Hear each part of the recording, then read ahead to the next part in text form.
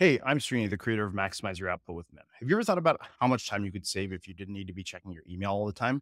Well, in this video, I'm going to show you how you can send, receive, and reply to emails all from within Mem. No more context switching, just your most important conversations in one place, letting you manage your most important emails right there in Mem. Now, let's get to the video. What we're going to go over in this video is how you can use Mem as a complete replacement for email. You can send emails from Mem, receive emails in Mem, and even reply to emails within Mem. So I've done demonstrations before on how to send emails from Mem and even use Mem as your replacement for email. But this is actually going to set this up in such a way where you can literally just send an email to somebody's inbox as if it was a regular email. So this first zap is actually really simple to set up. We're going to set up a couple of automations that automatically bring our email content into Mem. So this one is going to be for receiving emails. And so we've got this inbox here and we have a email here and we want to get the content of this email into Mem without having to do it manually every single time.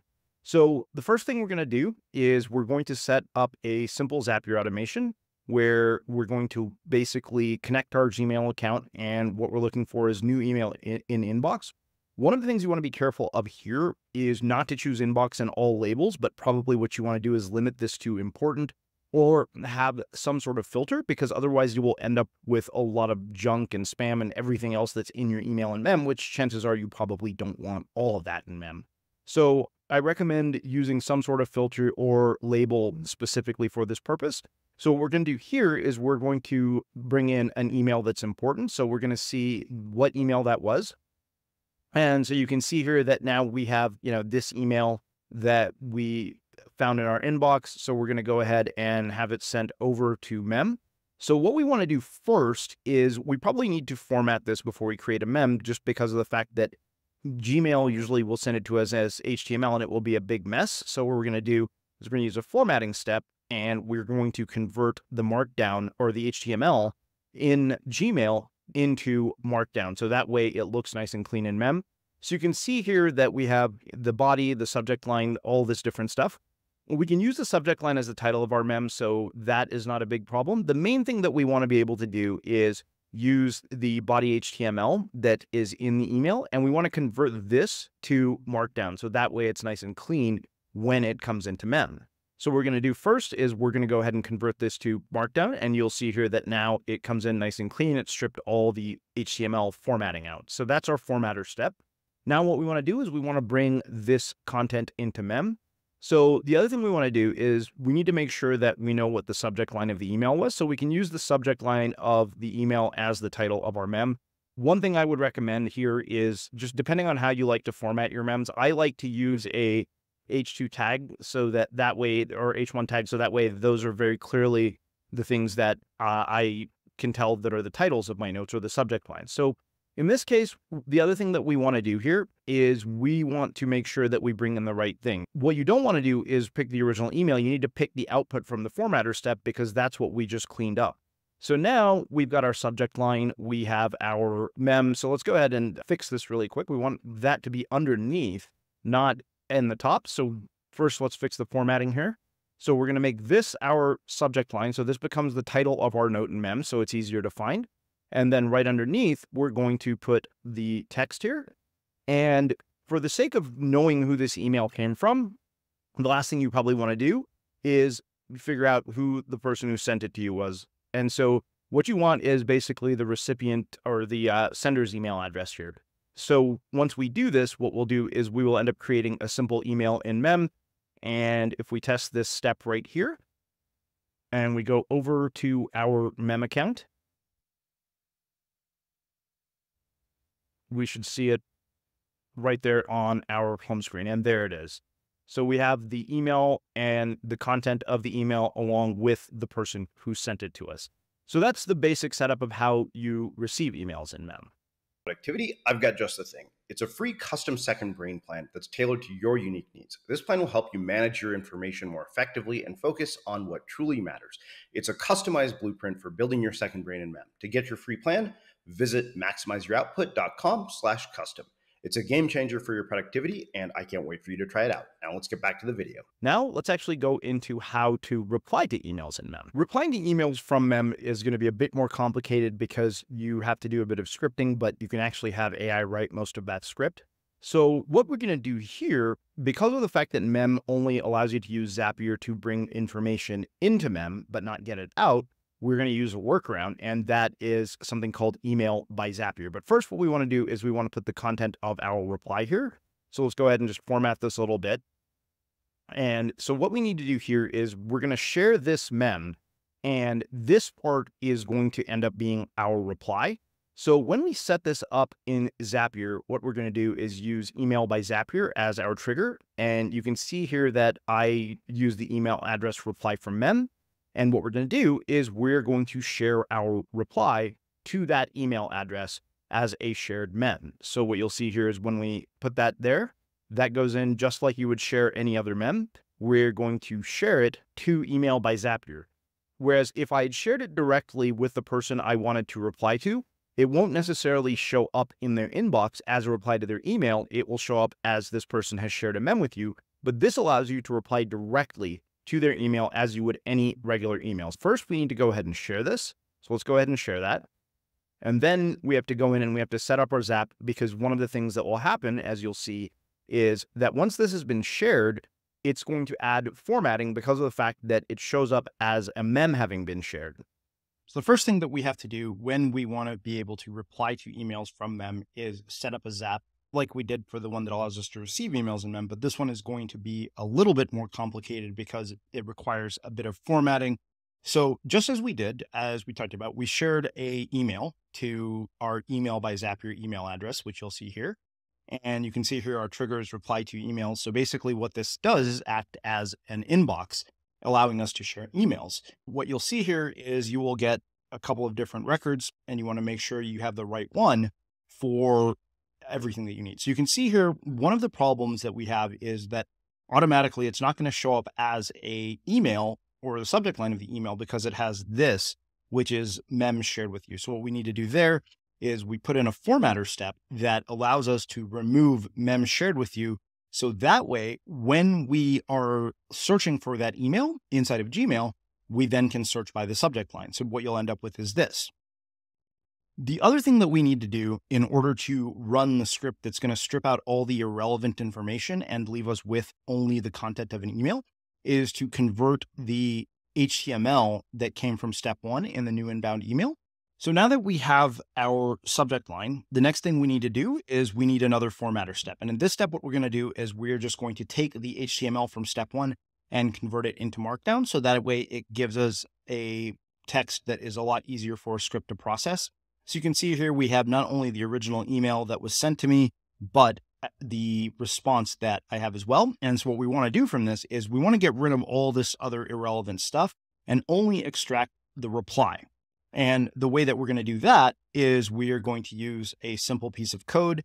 And you can have MemChat do this. This is a matter of personal preference. But one thing that's very important here is to make sure that you actually format the note that has the reply in it properly. So you'll notice when you look at the email that we're using here, there's a line break here, and that's critically important. You also want to make sure that you keep this as a header because those things are what make the script run.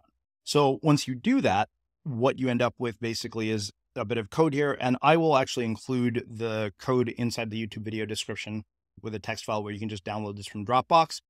And then you run a test, and what you end up with is the reply content. So you can see here that it stripped out everything else other than the content of my reply. Now, what we need to do is we actually need to find the email that we want to reply to inside of Gmail. So the first thing we have to do here is search for that email and you want to make sure that you connect it to the right account. So what we're going to do here is we're going to connect it to our account here. That was the Gmail account that we used. And the action that we're going to do is we're actually going to search for this. And this is actually why we did what we did in step two is to basically find this subject line. So that way it knows how to find that email. So we've given it something to go by. So let's go ahead and test this and it should actually find our inbox. And there it is right there. So this is what's going to allow us to reply to that specific email. So now that we have this, what we're going to do is we're actually going to send a reply to that email. And here you can basically choose your action and you have a couple of different options. You can, so what we're going to say here is we're actually going to put reply to an email and we're going to choose the same, change the account here to make sure that we have the right account. So in this case, it's our demo account. And what we need to do is we're going to use the email ID that we had before. So you can add a search step, but that's actually what we did here before. What we're going to do is we're going to use custom and we're going to basically say, okay, let's find this because every email in Gmail has a unique identifier that allows us to determine what email that is. And then what we're going to do is we will reply back to that person. In this case, we're just going to be replying to ourselves, which sounds a little bit silly, but let's go ahead and grab our email address from our account so that way we can see it show up in there. And so what we're going to do is we're going to send this reply to ourselves. So you want to make sure you have the right reply to address in there as well. And in this case, we don't necessarily need that just because of the fact that we're actually going to be replying to an email that already has an email address. And eh, so this is all, like I said, a bit silly just because of the fact that we're replying to ourselves. And you, you can specify a single address other than your own. And in the case of the body type, what we're going to do is we're just going to use plain text. And what this will allow us to do is take our output from the JavaScript step and that will then become the content of that email. And so what we'll end up doing is we're going to find this email with this ID and we're going to send it to this same address. And once we do, that person will basically get a reply to that email that they sent us directly from within Mem. And that, in a nutshell, is more or less how this is set up in Mem. So let's do one last thing. Let's actually go look and make sure that email showed up in the inbox and then we will move on to sending emails from. And now you can see right here, this is the original email that was sent, and this is our reply that we sent. All we had to do was write a reply within Mem, add a line under it, and share to email by Zapier, and we're able to reply to emails directly from within Mem. So now we're going to go into the final step of our setup to basically have Mem act as our email client. So there are a couple of things that are really important here and I've done a demonstration on this before in a previous tutorial about how to send emails from Mem. In this demonstration, we're talking about how to basically put all these together to effectively use Mem as your email client. So you'll see here that the first thing that's really important is that you have a header as your subject line. That will serve as our subject line. And then the other thing that is critically important, and it all depends on how you phrase this, but I use recipient email address because the structure of this, again, is going to determine the effectiveness of the script that we have in our automation. So just as we did before, we're going to use the same trigger where we share an email to email by Zapier. So I've already done that here. So you'll see here that we have our trigger step. And then what we want to do again is we want to remove the mem shared with you subject line. So that way we use this as our subject line instead of the mem shared with you thing. So that way it shows up as a regular email in somebody's inbox. Finally, what we need to do is we have to take the text and reformat it from Markdown to from HTML to Markdown. And then what we're going to do is we're going to run some code that basically takes all of the stuff from before and strips out all the unnecessary shared with mem formatting. So what you end up with is then you have your content here and you have the email address of the person that you want to send your email to. So in this case, we had a little bit of an error because it added this asterisk. So we'll fix that in the code that we send over to you. And from there, what we can do is we're just going to take this email address. In this case, we'll copy and paste it. But normally what will happen is you will be able to then say send email. So we'll go to Gmail as our app. And then what we can do is we can just say send an email. And in this case, what we're going to do is we're going to use Let's say, for example, that I'm going to send this from Srini at Unmistakable Media, and my recipient is going to be the email address that we got from our JavaScript content right here. So you can see here, as I mentioned to you, we want to remove the asterisks. So we could add a formatter step in if we needed to here, but we'll fix the script so that the version that you see doesn't have that issue.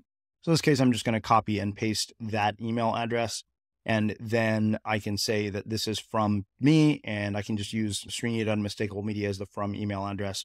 And we'll just put Srini Rao here so that it shows up in the inbox as being from somebody.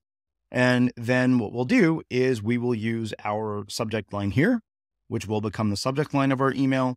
And in this case, we'll use body plain and we will take the output from our JavaScript step, which will be the content of our email. And then we're just going to send an email.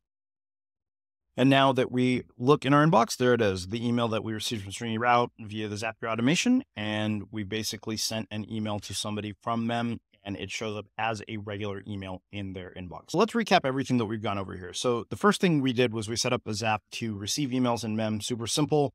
We basically use an email that says new email in our Gmail inbox and we create a Mem from it. Then what we did was we set up a Zapier automation to reply to emails using a couple of different automations. We had to basically write some code in order to strip all of that. And even when you're replying to emails, again, the formatting is really important. So if we go back and we look, you'll see here that we have this line here below. So that is critically important because if you don't do that, then the script won't actually work.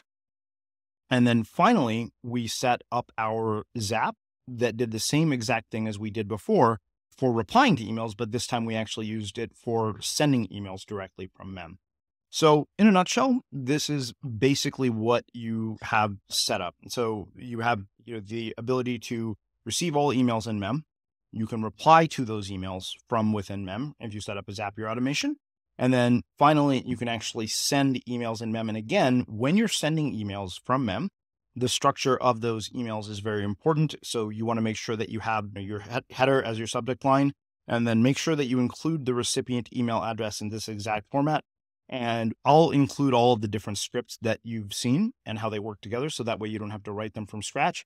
Um, but experiment with this. You might have to tweak it a little bit. And that's where MemChat comes in to be able to help you debug any of this code.